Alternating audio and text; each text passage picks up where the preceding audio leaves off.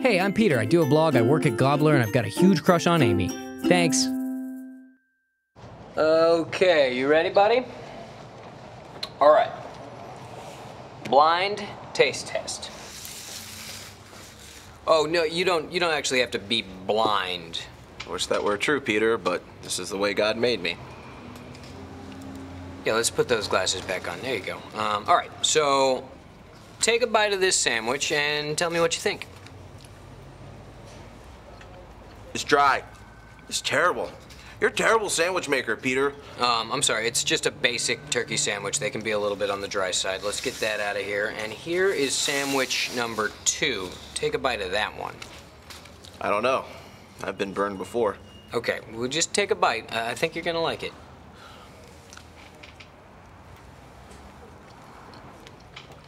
This is better. This is a nice sandwich, Peter. Who made it? Now, if I were to ask you which sandwich has mayonnaise on it, what would you say? The second one, obviously. The delicious one. The delicious one had mayonnaise on it. Now, who made it, Peter? It's a trick question, Arnold. Neither sandwich has mayonnaise on it. I don't like being tricked. I spread thinly sliced avocado on the second sandwich. It's a great alternative to mayonnaise and can add a lot to any snack. It's perfect for moistening up that dry turkey sandwich without having to resort to fatty condiments.